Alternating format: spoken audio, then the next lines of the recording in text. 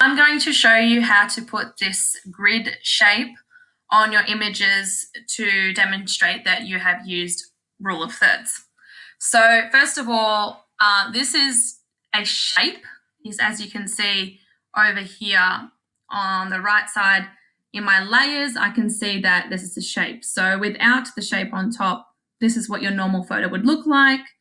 And to demonstrate uh, your understanding of rule of thirds, you are going to put a grid uh, on top of your image and then upload it onto your Google site. So to do this, uh, you're going to need the shape tool. So along this side here as well, you have all your tools.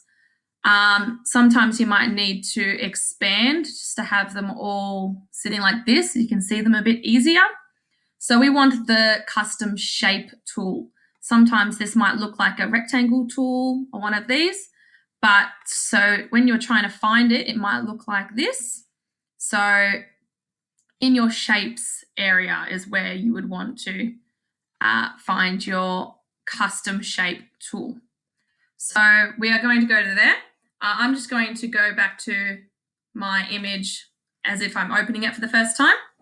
So I've got my custom shapes tool selected. Now I have to go and find what shape I want. I already have the grid selected, but here are a whole heap of different shapes.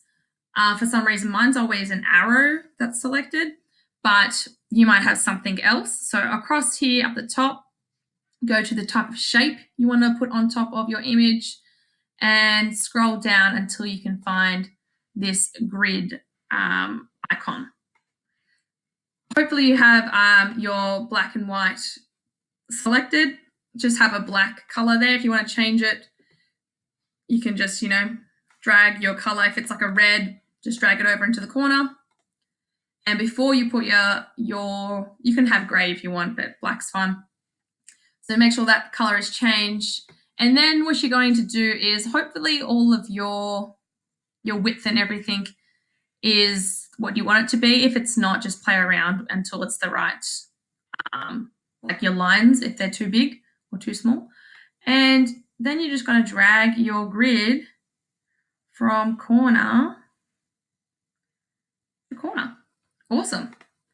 And then there, sorry, just clicking, I'm going to press enter. It's okay if it's a little bit off.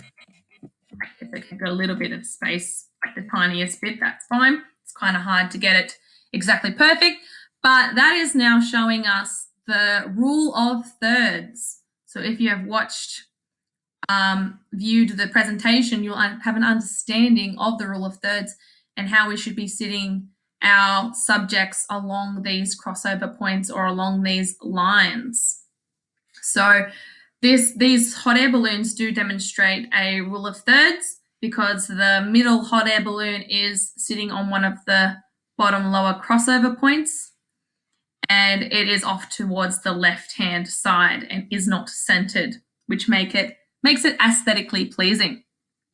So now that we have done that, nice and easy, all you are doing is right clicking on your background and just merge visible. So now it's all on one layer. And then I'm going to go to file and just save as. So don't just save it. You want to go to save as because you want to call it something else. So call it balloons.